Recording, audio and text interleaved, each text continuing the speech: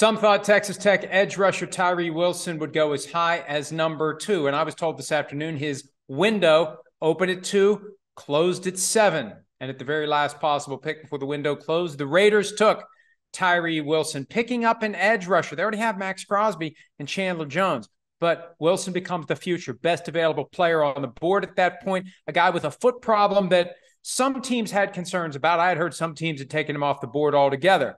But if you had him on the board, he was one of your best players. And he had been cleared in late March by Dr. Robert Anderson to fully return and participate in football, ready to go, everything fine. Raiders may have gotten a guy that they can pair with Maxx Crosby for years to come in a division where it pays to get after the quarterback because there are so many great quarterbacks that they have to contend with. So the Raiders get a guy that should have maybe gone earlier and now they have a better defense moving forward into 2023.